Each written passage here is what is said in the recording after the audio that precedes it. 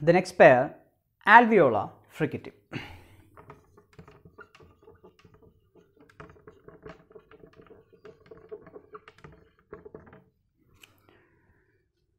So, alveolar fricative, we are familiar with alveolar plosives like d, d, d, d.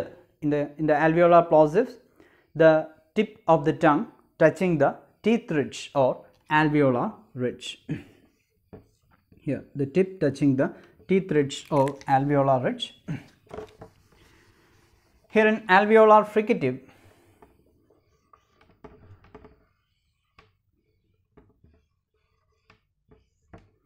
the tip of the tongue makes a slight contact with the teeth ridge in which there is a narrow gap.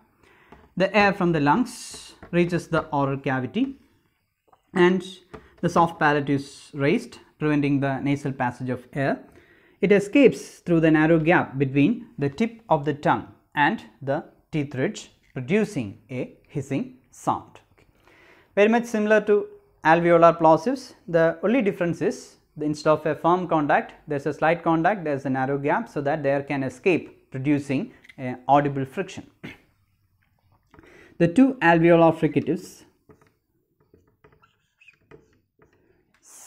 And Z.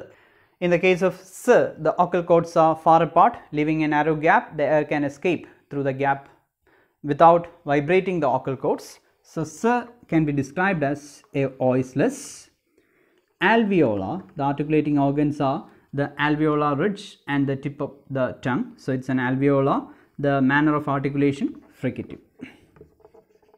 And in the case of Z, the vocal cords lying close together, the air escapes after vibrating the vocal cords. So, Z can be described as voiced alveolar fricative. S occurs initially as sit, sell, sell, saint, sing, medially as assert, ask, fast, mist, cluster, and finally as bus, pass, lace, nice, face. Z occurs initially as zest, zone, zoo, zero, zinc, medially as desire, reason, busy, music, puzzle, and finally as bus, leaves, rose, dogs, birds.